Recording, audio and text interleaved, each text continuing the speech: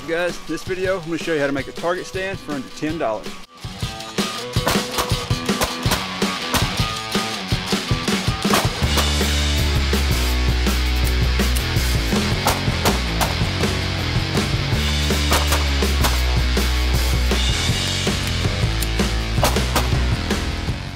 I designed these target stands to be pretty inexpensive. You can make each one with just two 8 foot 2x4s, which is right at three and a half dollars a piece. So, you know, about seven bucks plus screws. You can have a target stand. You can set them up like this for um, for cardboard signs. These are uh, spaced 17 inches apart.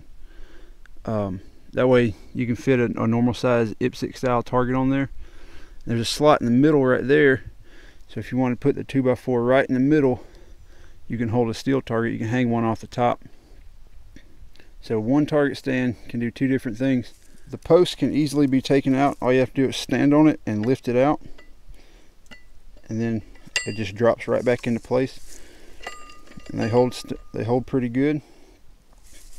You can move them from side to side. You can hang you could probably hang two metal targets right there on the sides. You can put one in the middle. If you just hang one, you can hang a cardboard sign, put one 2x4 on each side. I've also set them up with one post in the center of each like that, and then put poster board across the middle. That way you can put multiple paper targets on there if you want to. The tools you're going to need for this job are a drill, a pencil, two and a half inch wood screws, a screw-in hook for the metal target, a tape measure, a speed square, and two 8 foot 2x4s. Feet of the target stand are 24 inches apiece. Cut one out of one board and the other out of the other board. The total measurement for the pieces of the base is 8 feet, so you'd think you could just cut all the pieces out of one board, but when you take into consideration the thickness of the blade over that many cuts, you're going to come up a little bit short and your last piece isn't going to fit. So the way to get around that is you cut half the pieces out of one board, the other half the pieces out of the other board. That way you come up short on the upright piece because it doesn't really matter if it's exactly 4 feet.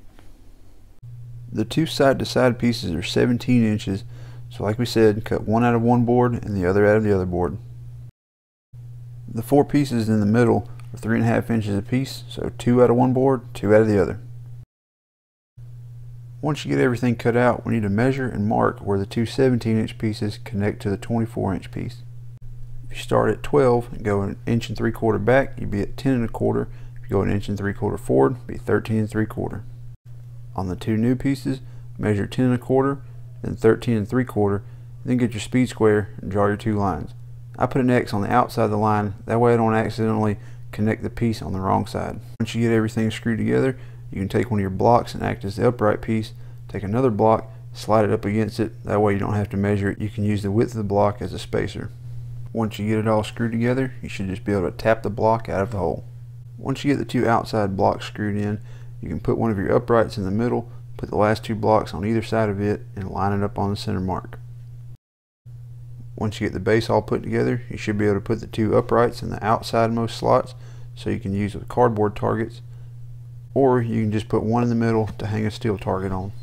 To put the hook in, you're going to need a 5 16 drill bit and a wrench to thread the screw into the board.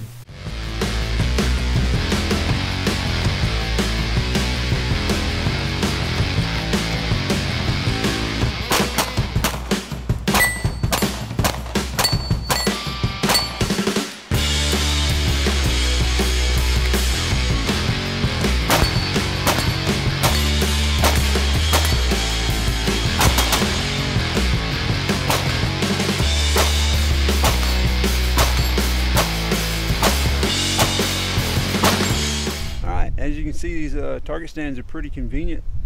Uh, they're pretty easy to set up and you can set them up multiple different ways. I've been using them for a few months and they've worked out great for me.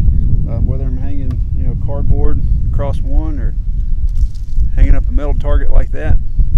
The good thing is, if you get uh, one of these chewed up too much, well, yank it out, buy another 2x4 and put a new one in. The only thing I think I need to improve on right now is uh, the way I hang these metal targets right here. Um, I've just got a little hook, you know, screwed in. I tried, you know, it's got a, a, spot for a bolt to go through, but I haven't really found a good way to bolt it up instead of just shooting the bolt through.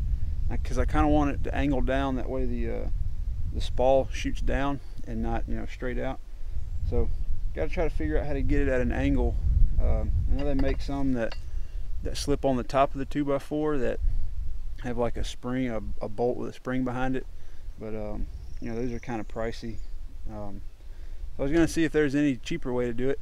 Um, if you guys can think of anything, just you know leave me a comment down there and let me know what you think.